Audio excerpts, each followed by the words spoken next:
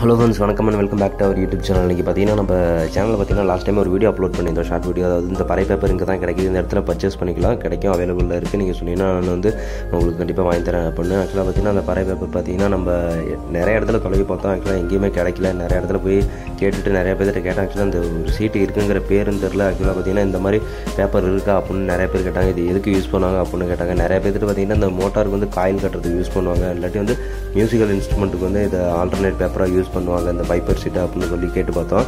அப்படின்னு பார்த்தீங்கன்னா நிறைய பேருக்கு தெரில சரி ஒரு சில இடத்துல ரேண்டமாக போய் செக் பண்ணி பார்க்கலாம். இல்லாட்டி பெயின் ஸ்டோர் இல்லாட்டி இந்த எங்கேயாச்சும் என்டர்பிரைசஸ் ஸ்டோர் அப்படி இல்லாட்டி எலக்ட்ரிக்கல் ஸ்டோர் இந்த மாதிரி எங்கேயாச்சும் போய் ட்ரை பண்ணி பார்க்கலாம். தொலை பார்க்கலாம். கண்டிப்பாக கிடைக்குங்கிறப்ப தான் ஒருத்தர் சொல்லியிருந்தார். சரி இந்த மாதிரி நீங்கள் காந்திபுரத்தில் பார்த்தீங்கன்னா அங்கே ஒரு ஆட்டோ ஸ்டாண்ட் இருக்கும். அதுலேருந்து உள்ளே போனீங்கன்னா லெஃப்ட்டில் ஒரு கட்டு போகும். அதுலேருந்து உள்ளே போனீங்கன்னா உங்களுக்கு அங்கே பாலாஜி என்டர்பிரைஸ்னு ஒரு சின்ன கடை இருக்கும். அப்படின்னு சொன்னாங்க. ஸோ நாங்கள் போய் கேட்டு பார்த்தோம். அவருக்குமே தெரில அங்கே பார்த்தீங்கன்னா அவங்க தாத்தா தான் அந்த இதை நாங்கள் போனோம். அப்போ தான் அதை சுருட்டி வச்சுக்கிட்டு ரெடி பண்ணிட்டு இருந்தார். அவர் எதுக்கு எடுத்துகிட்டு இருந்தாருன்னு தெரியல. பட் ஆனால் நாங்கள் கேட்டப்போ நல்ல வேலை பார்த்தாச்சு. இந்த பேப்பர் நல்ல வேலை எங்கேயாச்சும் கிடச்சிது. படான்ட்டு அந்த பேப்பர் எவ்வளோ அதோட ரேட்டு என்ன எந்த மாதிரி எந்தெந்த நம்பரில் எந்தெந்த திக்னஸில் இருக்குது இப்போ அந்த ஏழு செவன் மில்லிமீட்டர் அதுக்கப்புறம் ஒரு மில்லிமீட்டர் ரெண்டு மூணு நிறைய வேரியண்ட்டில் இருக்குது பத்து பன்னெண்டுன்னு.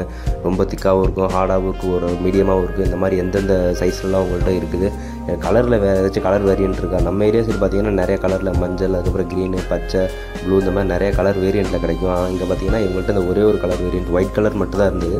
சரி ஓகே இந்த பேப்பர் கிடச்சது ரொம்ப சந்தோஷம் தான் சாமி அப்படின்ட்டு அந்த பேப்பரை சரி பாட்டி அதை வாங்கிக்கிறோம் கண்டிப்பாக தேவைப்படும் கண்டிப்பாக வந்து நிறைய பேர் கேட்குறாங்க நாங்கள் கேட்டு யாருக்காச்சும் வேணுங்கிற பட்சத்தில் உங்கள்கிட்ட வந்து நாங்கள் ஆர்டர் பண்ணி வாங்கிக்கிறோம் அப்படின்னு சொல்லிட்டு.